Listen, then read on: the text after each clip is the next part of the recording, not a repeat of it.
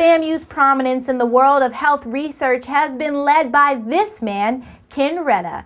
He's the acting vice president for research. Redda has secured three patents for anti cancer and anti HIV agents and works as a full time professor and activity leader at FAMU's Research Center in Minority Institutions.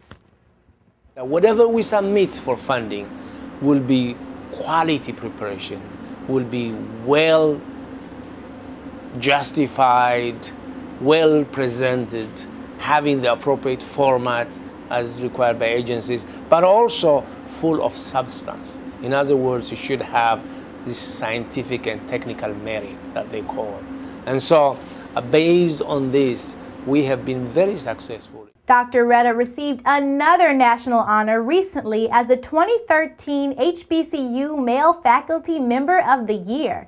He says his childhood passion for math and science has been the driving force behind his magnificent obsession with research. Be sure to join us next week when we take a closer look at his knack for capturing the high profile research grants.